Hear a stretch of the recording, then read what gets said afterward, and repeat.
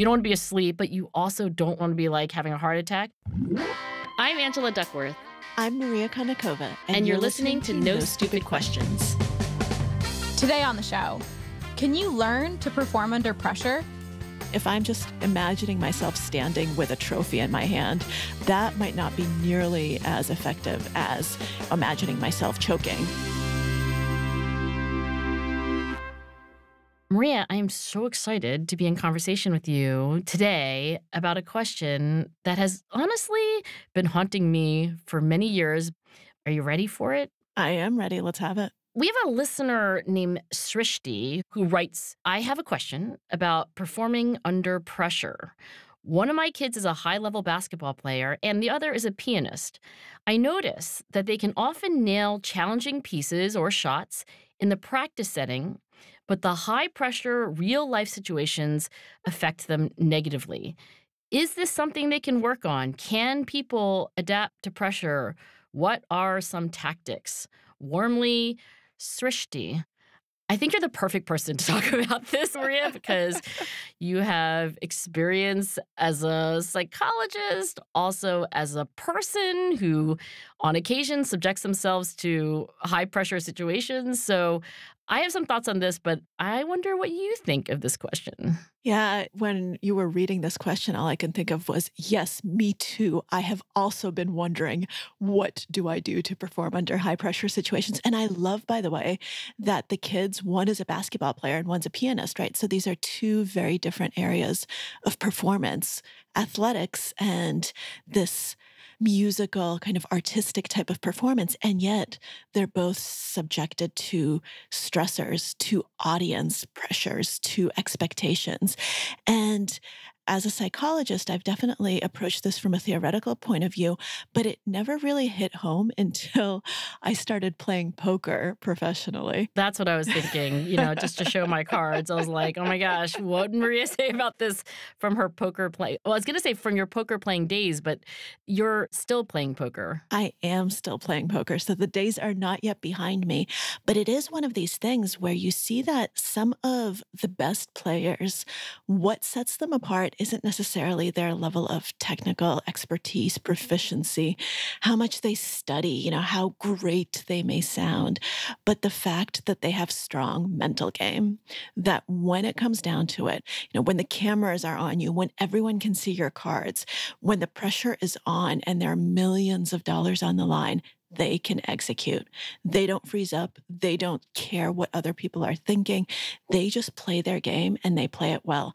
And it seems so easy when you're watching from the outside, but when you're sitting under those lights, let me tell you, it is anything but easy. And it is actually one of those things that I had originally thought I wouldn't need to work on because, haha, you know, I'm a psychologist. I have a PhD in this. In Columbia, no less. exactly. I studied self control. But talk about hubris, right? I thought that I'd be actually amazing at mental game because of my background, and I wasn't. And it's one of the things that I had to work on the hardest because it was just so difficult. Okay, wait, I need to step back and ask you. So, you do go to Columbia, you do get your PhD under the master of self control and delay of gratification and emotion regulation, Walter Mischel, and then fill in the blanks between that and having this like firsthand experience as a professional poker player. So I wrote my first book when I was still a grad student. A wonderful thing about Walter Mischel is that he supported the fact that I didn't want to go into academia, but I wanted to be a writer, not a poker player. And he knew that, I think, right? Even from go. He did. Yes. Yes, he knew that from the very, very beginning. I wrote my first book when I was in grad school and started writing full time after I finished my PhD and ended up at the New Yorker. And I had zero interest in anything to do with games, poker, anything like that. The poker was a just total out of left field about face. And that came from a very personal place. And it's actually very relevant to this question about performing under pressure and performing under less than optimal circumstances because I experienced a period in my life where just everything went wrong and I got incredibly sick. So I experienced this complete lack of control and this feeling of helplessness. I was now the primary breadwinner, so I had to perform and I couldn't. You know, I didn't know what I could write. I didn't know how to be creative when all of this pressure was on my shoulders. And it was a very, very scary feeling. And I turned to poker as a way of dealing with that, as a way of helping me wrap my mind around uncertainty and around how you deal with bad beats of life, with the things that life throws at you when you can't perform and when you don't know the way out. So you were fearful and then you just like ran headlong into I mean it just seems like a, a funny or un, unusual way to deal with what sounds to me like a stressful possibly anxiety riddled, possibly confidence undermining time. You're like, and then I turned to poker. I think that's exactly right. And I was scared because I had no idea what I was getting into. But the reason I turned to it was as kind of a metaphor, as a way of figuring out, okay, well, how do I determine the difference between skill and chance and maximize skill and learn to deal with chance. And it wasn't my idea. So I was actually reading The Theory of Games and Economic Behavior by John von Neumann and Oskar Morgenstern. And I learned that von Neumann was a poker player and that game theory came out of. Wait, von Neumann was like game theorist? No? He was the father of game theory, yes. Mathematician, polymath, Princeton, father of game theory, father of the computer, father of the hydrogen bomb. So, dude created a lot of stuff. Ringing bells now, yes. a genius of the 20th century. But yeah, he was a huge poker player and he thought that poker was the perfect way of looking at decision making in life as something that was inherently much more like a game of poker than, say, a game of chess, because poker is a game of imperfect, incomplete information. It's a game of uncertainty. And that's what life is. So that's actually how I got into poker, because as a psychologist, as someone who's learned to study things through kind of a very specific lens, it made sense to me to use something very specific like poker to address these huge existential questions. And so to me, poker kind of became a laboratory of the mind and a way of working through these things in real time. And, you know, by the way, just on a practical level, that was my next book. But I had no idea whether I'd be able to pull the book off or whether I'd be able to, to go back to our question, perform under pressure. Because it's very, very different to know things theoretically and then to be able to implement them practically in the moment when it actually counts. And that to me is what's fascinating about not just professional poker, but about all of these things about sports, piano, everything where you actually have to perform. Because in academia, other than my dissertation defense, I didn't really need to perform under pressure. You don't really need to perform much as an academic. Occasionally, they let you out of your cave or whatever, and then you have to like say things, but then you just go right back in and you're at your laptop. And there's not a lot of performing under pressure, I think, for most academics. One of the things that strikes me when you start looking into this performance under pressure and what it means and whether you can do it is that most of the metaphors, most of the vocabulary that we have around it, it's around athletics and sports. Because if you think about the careers where performing under pressure is just absolutely a huge part of the career. It's intrinsic, it's just absolutely essential. Athletics really does come into it right away. So we have words like the yips that come from basketball, golf, actually. Oh, from golf. Yeah. So the yips originally are from golf, but they also call it the staggers, the waggles, and whiskey fingers. By the way, my vocabulary has just expanded so much. So I'm going to just share this with you because it's awesome. In the game called snooker, by the way, I didn't know what snooker was, but it's basically like billiards. Pool? I was going to say, yeah. Yep, exactly. I don't even know if it, billiards is the same as pool. Yes. I just used the Englishism for it. Yes, pool. So they call it Q-itis, which I think is hilarious. In archery, it's target panic. In baseball, they call it the creature, the monster, or Steve Blass disease. Can you imagine being an athlete who his name is used as a disease. Yeah, I was going to say, is that a proper noun? Is there some person who choked all the time? Yep. That's terrible. So, Steve Blass was a pitcher for the Pittsburgh Pirates, and he couldn't throw the ball into the strike zone. And after that happened, he just became unable to do it. And so it became known as Steve Blass disease. So, this is something that's definitely very pronounced everywhere. The twisties in gymnastics, I think we all probably heard that. Let me ask you, Maria, if you were preparing yourself for something again where choking isn't fatal, but it could be catastrophic financially and reputationally, like did you do what I would do? Because I will tell you that my primary coping defense is Google Scholar. What did you do as a psychologist, if anything, to prepare for this poker thing you were about to do? I love that you use Google Scholar. I love Google Scholar. But what I personally did then was actually start to try to implement some of the research that I had read about already. Like, for instance, visualization and things like implementation intentions mm-hmm. when you're looking at goal setting. Those kinds of exercises were really helpful to me as I got going to try to say, okay, I've never done this before if I start panicking, then I am going mm-hmm. to close my eyes and take a deep breath and pretend that I'm not at the poker table and try to think, what would my mentor do in this situation, for example? So I would start doing things like that to try to get myself psyched and prepared. And by the way, it did not work right away. I definitely froze up and made many, many, many mistakes and still do. Okay, so these implementation intentions, these if then plans, that are a gift to the world from the psychologists Peter Gollwitzer and Gabrielle Oettingen at NYU.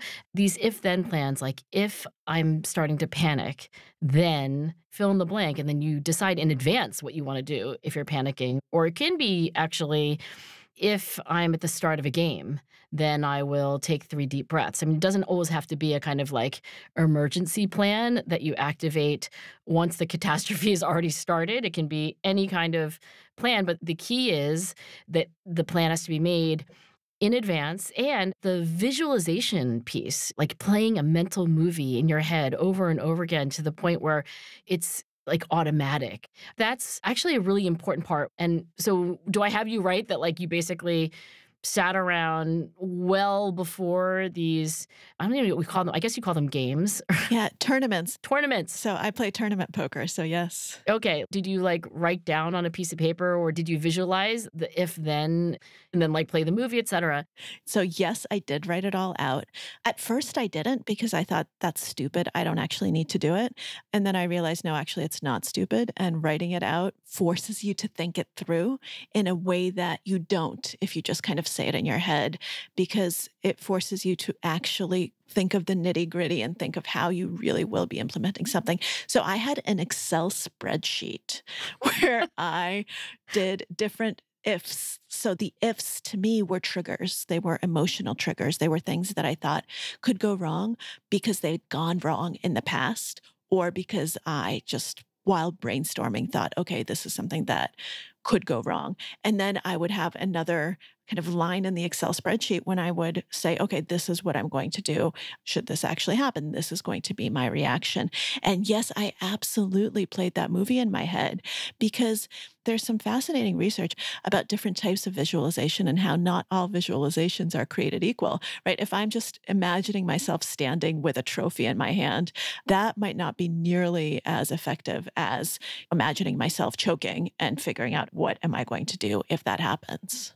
I think what Gabrielle and Peter would say from their research on goal setting and planning is that very often people like to visualize the positive outcome. But the visualization of that, when you just fantasize about the best possible outcome, the problem is that you don't actually feel any sense of urgency to do anything because you've already indulged in this future that you in some ways experience just because you've been able to imagine it. So I think what they would say is to go to the obstacles, right? So find to visualize the positive future that you're hoping for, but then you need to contrast that with the obstacles that stand in the way.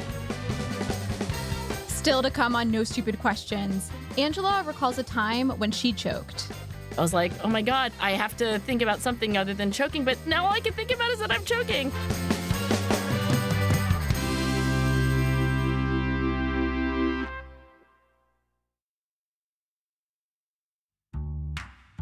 Now, back to Angela and Maria's conversation about performing under pressure.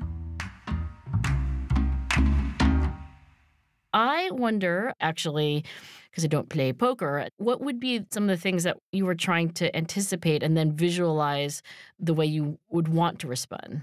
A lot of them have to do with things that we've both studied extensively in lab settings, but affect you very differently in the moment. Like, for instance, if all of a sudden you lose a lot of money, if you lose a lot of chips, because in tournament poker, those chips actually have no cash value. Oh, they're like points. Exactly, exactly. Okay. But imagine you had a thousand of them and then half of that is gone. How do you react? How do you play? A lot of people are going to start not taking risks optimally after something like that happens. So they can choke in one of two ways. They can either start just being way too risk seeking, like, let me just keep wagering everything because I want to make it back.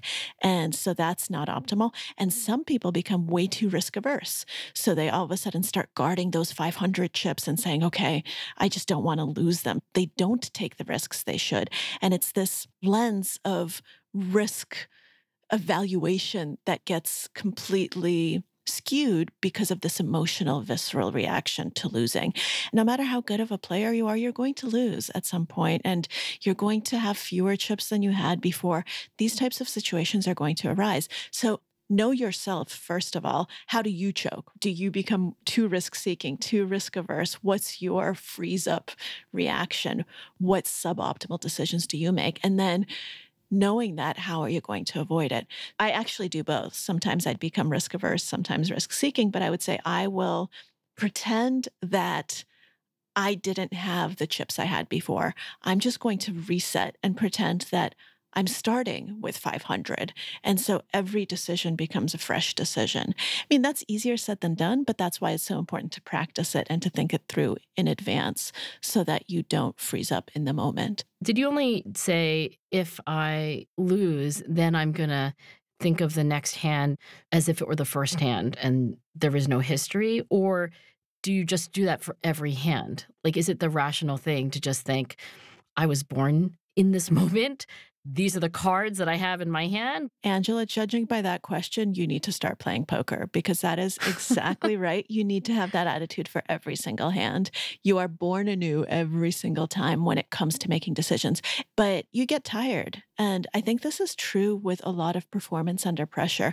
The longer you're forced to perform under pressure, the more depleted you are emotionally, physically, cognitively, you're just drained. And mm-hmm. so it becomes more and more difficult to consciously think through all of these things every single time. I am not an athlete. I am not a basketball player. I don't even play chess. I don't think I've even finished one chess game.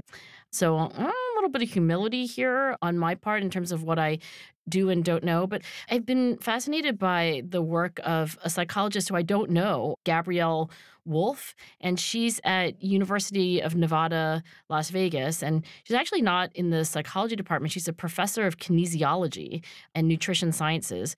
But you likely have heard of this work, this idea that one of the things that may help when we are performing, certainly when you're doing a physical task, is that you can either pay attention to, say, for example, the basketball and the rim and the stuff that's outside of you, or you can try to get your foul shot in by paying attention to your elbow and your forearm and how much you're really crouching. So, in other words, there's an external attentional focus or there's an internal attentional focus. And if you take the example of basketball, or you could say golf, right? Are you paying attention to the ball and the green and the wind and the hole, or are you paying attention to your arm and your back and your posture and the weight in your feet? And there was a meta analysis uh, a couple years ago in the journal that publishes all the good meta analyses in psychology, Psychologies, psychological Bulletin. And the meta analysis really affirms that one of these attentional foci is just way better than the other. And I'm guessing you know which one it is because I'm guessing you know Gabrielle's work. I'm all ears. I actually did not know her name. I know the research. So, in this case, attention wise, looking outside of the self is, I don't want to say it's always better, but it's reliably better. In other words, you can make a good bet on it, as it were. And the question I've always had is do we know why? Like, what is the mechanism? What is the magic of external attentional focus? And I think here the research is not definitive, but Gabrielle's own thinking about this is revealing. So she gave an interview for Golf Science Lab. And when she was asked this question about where should we pay attention and why, what Gabrielle says is, and I quote her, when you focus on body movements, you consciously try to control your movements, and the result is that you constrain your motor system, meaning there will be unnecessary co contractions between agonists and antagonists. These are opposing muscles. That's my parenthetical agonists and antagonists, meaning opposing muscles, and even superfluous contractions, she goes on to say, in other muscles as well. That disrupts the fluidity of the movement, and people use more energy than necessary, and the accuracy of their movements is degraded, and so forth. Now, when you use external focus, use more automatic control processes, which are unconscious, much faster, and as a result, movements are more efficient, more fluid, smoother, and more accurate. So, this theory, I think, is that there's something about the self conscious or the self directed attention, which then we're like, oh, I guess my arm should go up. Okay, all right, now maybe it's too high. Where really, especially for these physical sports that she studies, like golf, what you want is for your muscles to do what they need to do, but is I guess a little bit like breathing, you know? Like if you start paying attention to your breath, like all of a sudden it seems very, very difficult to breathe smoothly. That rings so true to me. I think that one of the gifts that focusing on external things can give you is to take you out of your own head. Because a lot of these times when you do freeze up, it's because you start over analyzing the things that should come naturally. I'll give you a, an example from my non poker days. So when I was little, I played the piano. Are you going to be one of those people who's like, yeah, I played the piano, and then, you know, like you went to Juilliard on Saturdays? No, no, no, no. I'm not one of those people. No, no. I just played. Okay, because I'm not one of those people. I just wanted to know if you were one of those people. No, no. I just I just played the piano, but I did have recitals, and I did play in front of large audiences. And you know, the older I got, the larger they were. And at the beginning, I remember it was just always pretty fun because my parents are there, my sister's there, and no one expects anything of a six year old sitting in front of the piano who's not at Juilliard, who's not supposed to be a piano prodigy. So zero expectations. I mess up, it's all good. I keep going. Then I started to get better and better and better. And Wait, this is sounding like it's going to end up at Juilliard. No, no, no, no. We're never, No? we're never, Okay. no, no, no. We're never ending up there. However, I did get to the point where I was playing pretty sophisticated pieces and I was no longer five years old. And so the expectations of the people around you and of your teachers and of yourself, the expectations get higher. I remember very well, I was playing Chopin at this recital and I'd practiced this piece, I don't know how many times, but hundreds of times. You prepare a lot for these moments to the point where it's very automatic and you don't have music with you. Oh, this is all like memorized. Yes, it's all memorized. Whoa. Exactly. So, what happens when all of a sudden you start focusing on your fingers and there's just kind of this break in your brain and you don't actually know what comes next? So, all of a sudden, I looked down and I didn't know what came next. It had always been automatic. I'd never had a problem at this part of the piece before because one of the things you actually do when you're playing the piano is you learn to start the piece from different moments just in case something like this happens. Mm, just in case you mess up. Exactly. Mm, okay. So that's part of your practice. And so, what do I do when all of a sudden I don't know what comes next? Well, I replayed the previous part and I get to the same part and I freeze again. And finally, the breakthrough came when I realized that, you know what? No one in the audience, except for a few people, actually know what this piece is. And so I just went straight to the end because I remembered the end. Wait, this is during the actual competition? Yes, this was during the actual competition. Wow. Okay.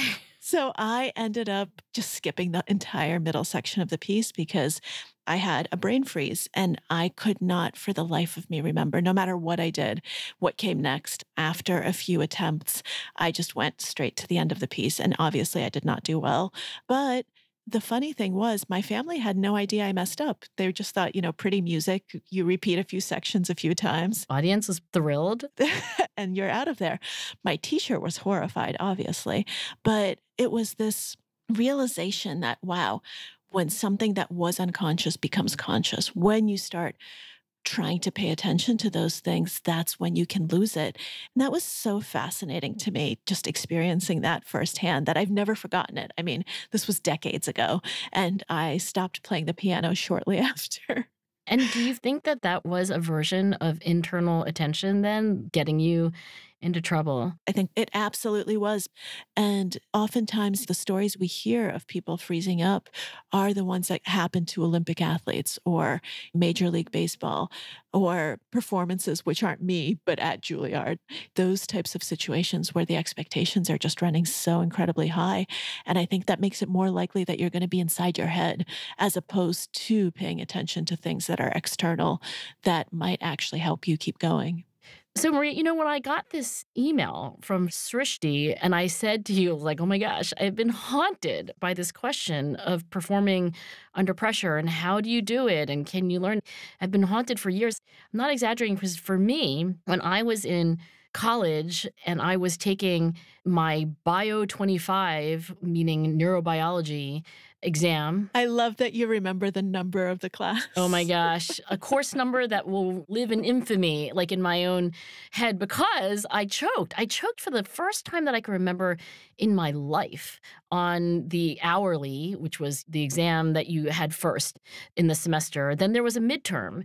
And I choked on that too. And then there was only one other exam, which was the final. And when I say that I choked, I mean, when you're talking about this like you're in your head and your attention is not going to where it should be. Like I should have been solving these calcium potassium problems that were on the Bio 25 test. But really, basically, in my head, I was like, oh my God, I'm choking, which of course leads you to think, oh my God, I'm choking. Like, oh my God, I'm choking. So, like, then I had the meta meta cognition. I was like, oh my God, if I keep thinking that I'm choking, I'm definitely going to fail this exam because I have to think about something other than choking, but now all I can think about is that I'm choking. And it had never happened to me before. It had never happened to me in any other class. In college, I was a freshman, I was a first year student, so I hadn't had a lot of experience, but had some. It never happened to me in high school. It never happened to me in any arena of life. And I was haunted. I honestly can't fully account for how it didn't happen on the final. For that final, did you do anything differently? Did you do anything to kind of put yourself in a different mind frame? Did you do any visualization? All of these different things that we've talked about. Do you remember consciously doing any of that, or was it just luck? You know, because it was such a painful part of my life and there was so much journal writing around that time, you know, me pouring my heart out into my diary at night, I can say with some confidence that I didn't do a lot of this like sophisticated visualization. I probably should have. I think the one thing that I did that we talked about just very briefly. You said you wrote down things. I mean, there's a research study that affirms that writing down exactly what you think is going on, what you would like to do, it's not quite the visualization of like if i'm panicking then i will dot dot dot. But there's a research study by Sian Beilock who's a scientist as well known as any scientist who's studied choking and wrote a book called choke on the science of high pressure performance. In the intervention that she did with a group of colleagues this was published in the Proceedings of the National Academy of Sciences a few years ago.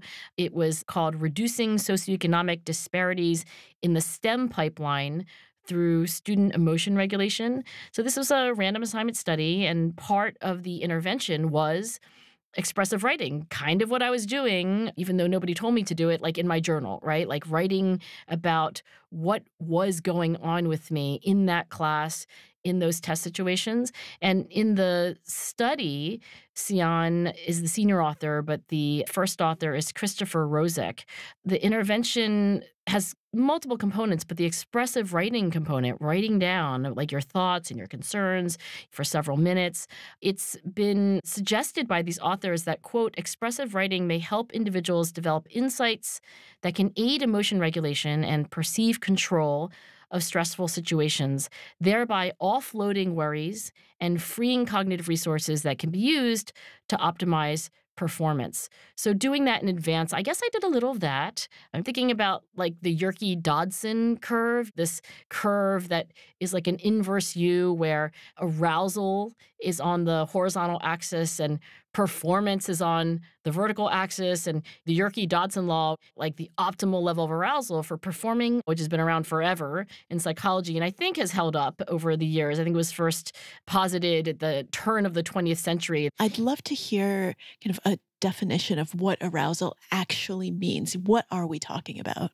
When we think of how arousal and performance are related, I think of it as kind of like how keyed up you are, how energetic you are. So at one end, you know, you're asleep, right? So that's like zero arousal or close to zero arousal. And at the other end, you know, you're just like having a panic attack, right? Like the adrenaline is coursing, the cortisol is coursing, your heart is racing, you're breathing quickly. So I think that's the kind of physiological continuum from very low energy to very high energy. You don't want to be asleep, but you also don't want to be like having a heart attack.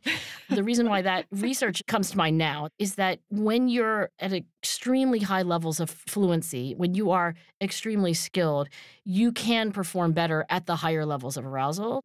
So I was you know, I was I was awake when I went into that final exam. I was like, okay, this is it. This is game day. My heart was racing. The adrenaline was coursing through my veins, I'm sure. But because I was so much better prepared, I could handle it better, right? And coming back to Srishti's question, this question about her kids, one's a basketball player, the other a pianist, under the high pressure real life situations that they're confronting, what can they do? If I think back in my experience, I would say when you prepare to the point where, like, wow, I know this forwards, I know this backwards, kind of like what you were saying, Maria. I can start this piece here, I can start it here, I can yep. start it here. Like it's in my head. I think that helps. It's no guarantee that you're not going to choke, but I think that helped me in my final exam. I, by the way, passed the class and congratulations. I'm majoring in neurobiology. I do think that the kind of visualization that you did, it sounds like that would be helpful. I mean, let me turn it over to you because I think if I only had one piece of advice for Srishti and her kids, I would say preparation is a terrific, again, not antidote, but it's a helpful aid against choking because you can handle much higher levels of arousal. So I guess practice, practice, practice would be one answer to like what can you do to perform better under pressure. Yeah, I would say not just practice, but also trying to envision everything that can go wrong. You need to prepare yourself for non optimal performance and be okay with that. You know, give yourself permission to make mistakes.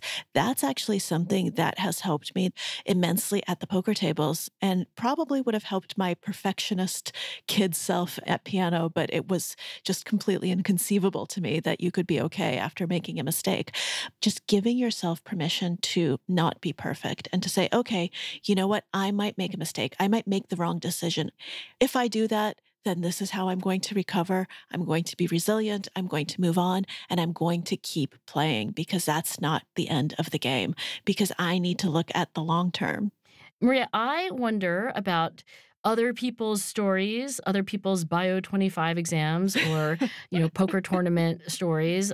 I wonder if listeners might record if you have such a story, a time that you struggled under pressure, maybe that you choked, maybe that you succeeded in not choking. Especially, I think stories where you were able to learn something and change what you did in the future. Tell us your name Tell us where you're from, record in a quiet place, put your mouth up to the phone, and email us your voice memo to nsq at freakonomics.com. And maybe we will play your story on a future episode of the show.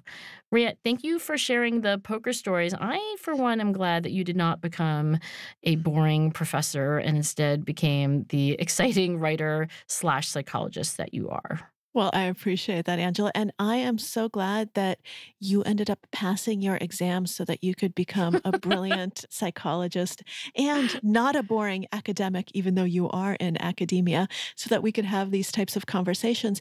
And I'm looking forward to our first poker matchup. I'm not playing you in poker. Because I think you are going to be amazing. oh my gosh. Okay. I look forward to that, but as long as there's no stakes. This episode of No Stupid Questions was produced by Julie Kanfer and me, Katherine Moncure. And now, here's a fact check of today's conversation. In the first half of the episode, Angela asks Maria if pool is the same as billiards, and Maria says yes. While billiards can be used as an umbrella term for cue sports, it can also refer to a specific game. Snooker, billiards, and pool are all slightly different, with distinct numbers of balls, table lengths, and pockets. Some sources suggest the name for pool may have originated from the French word for hen and a game played in the Middle Ages. In this game, players would throw objects at a chicken, and whoever hit the chicken first would win. That's it for the fact check. Before we wrap today's show, let's hear some of your thoughts about last week's episode on scarcity and abundance. This is Isabel, and I'm from the Philippines. Your episode on scarcity reminded me of an essay written in the 1960s by one of our national artists for literature, Nick Joaquin. The title of the essay is The Heritage of Smallness. It discusses how our tingi culture, tingi meaning buying and trading in small amounts, limits the Filipinos from thinking and envisioning in a bigger scale. For example, in our local convenience store, you can buy maybe one cigarette and then one egg instead of a dozen. We also have sachets of shampoo, like little travel sized pouches, but not meant for travel, meant for use just for today. And then you'll buy another one for tomorrow, maybe. You earn for today and you buy what you need for today. A scarcity mindset, a heritage of smallness. This is Sean Kernick. I'm a mural artist based in Raleigh, North Carolina. The scarcity mindset in my world, I've labeled as hungry money. And what that means for me is that when I'm looking for work as a professional artist to survive, when my resources get so low that I'm operating in my hungry money zone, it means that I'm going to be taking on work that's going to not be great the money's not going to be great and the demand on my time is going to be more. And I'm willing to do it because the fear of completely depleting my resources is so high, it's always a compounding negative effect every time I do it. And so now I have like little kind of warning bells that go off when I'm approaching hungry money that I know that, wait, wait, wait, even though you want to, don't take that job. And so now I anticipate the scarcity mindset. Big fan of show. Thank you guys so much. That was, respectively, Isabel Baggio and Sean Kernick. Thanks so much to them and to everyone who sent us their thoughts. And remember, we'd still love to hear about a time when you struggled under pressure. Send a voice memo to nsq at freakonomics.com. Let us know your name and whether you'd like to remain anonymous. You might hear your voice on the show. Coming up next week on No Stupid Questions, Maria and Angela discuss how to change other people's behavior hey, over here there are fish if you want, and I'm gonna put them at eye level, and I'm gonna make it really easy for you to have the fish, and I'm gonna tell you fish is so great. That's next week on No Stupid Questions. No Stupid Questions is part of the Freakonomics Radio Network, which also includes Freakonomics Radio, People I Mostly Admire, and the Economics of Everyday Things. All our shows are produced by Stitcher and Renbud Radio.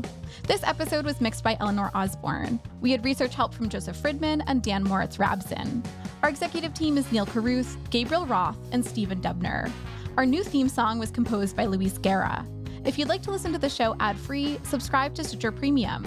You can follow us on Twitter at NSQ underscore show and on Facebook at NSQ show. If you have a question for a future episode, please email it to nsq at freakonomics.com. To learn more or to read episode transcripts, visit freakonomics.com slash nsq. Thanks for listening.